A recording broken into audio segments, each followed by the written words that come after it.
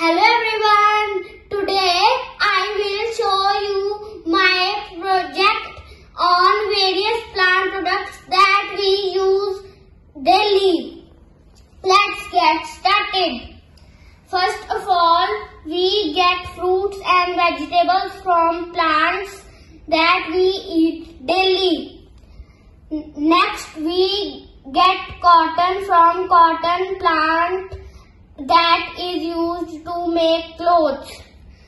We also get paper from from bamboo and eucalyptus plant.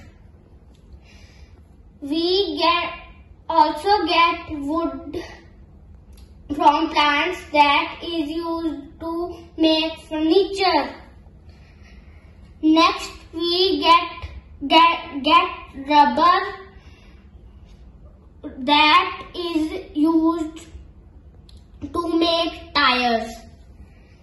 We also get some dry, dry fruits like almonds, cashews, etc.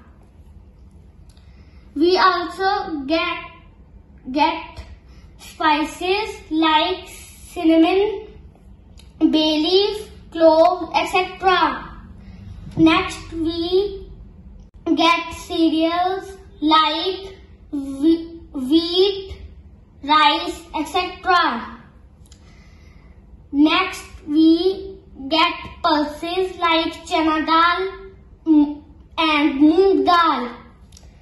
Perfumes are made from some flowers of some plants like rose, jasmine, etc.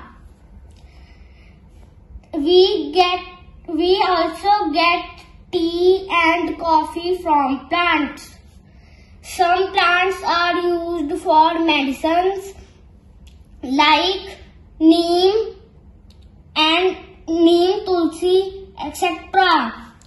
The most important thing that we get from trees is oxygen. That is all about my project. Save trees, save lives. Thank you.